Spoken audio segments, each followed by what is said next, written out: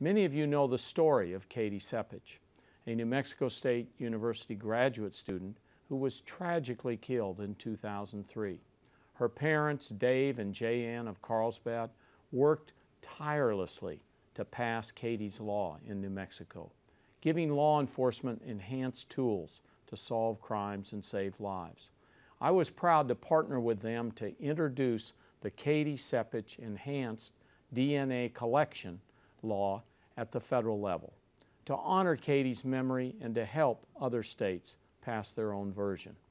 I'm proud to say that two days after what would have been Katie's 32nd birthday, the Senate passed our bill unanimously. And shortly after, President Obama signed it into law. I invited the Sepich family to my Washington office to present them with signed copies. It was a proud day for a family we have come to know and admire. Because of their hard work, Katie's memory will live on. This year is the 10th anniversary of her death, and we sat down with Jayann to talk more about their journey, about getting the new bill passed, and how it's already helping other states pass a Katie's Law of their own. Here's a clip. It's wonderful, of course, to have uh, a federal bill named after Katie, but what's even more important is what it does. What, it, what this bill does is provide incentive implementation grants, one-time grants to states to allow them to overcome that hurdle of setting up funding so that they can take on arrestee testing DNA and get it implemented.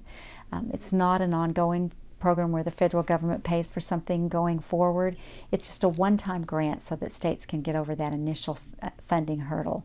And then, of course, they take over the funding themselves to, to pay for their own programs. Well, it started in November when I, late November when I got a phone call that our, our bill was moving in the House. And so naturally, um, we started making phone calls and sending emails and reaching out to not only everyone we'd met here on the Hill, staffers and, and members of Congress, but also um, people that we'd worked with around the country, state legislators, asking them to call, um, lab people that we, crime lab people that we'd worked with across the country, and asking them to call. And so we had we had people all across the country making phone calls and sending emails and asking for this law to indeed move forward, and it did. And we were just so incredibly excited when we found out that it had passed the House by a two-thirds majority. And then, of course, because of the late date, we had to have unanimous consent of the Senate. And we got the word that there were no holes left on our bill and that 100 senators had said, yes, this is what we want to do. We were absolutely thrilled. That was to mark the five-year anniversary of Katie's murder.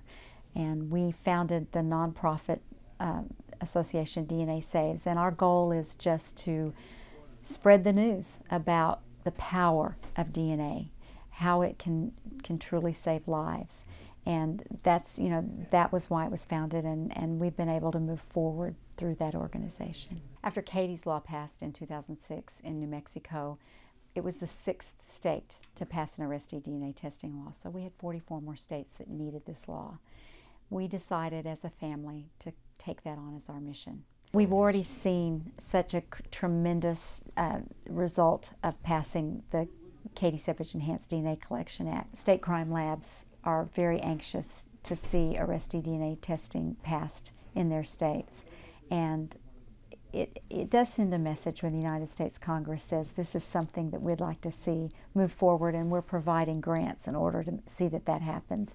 It makes a difference. You know, we've been so incredibly grateful of the support we've had from our congressional delegation, from uh, our, our representatives, and also, of course, from Senator Udall and Senator Bingaman before he retired.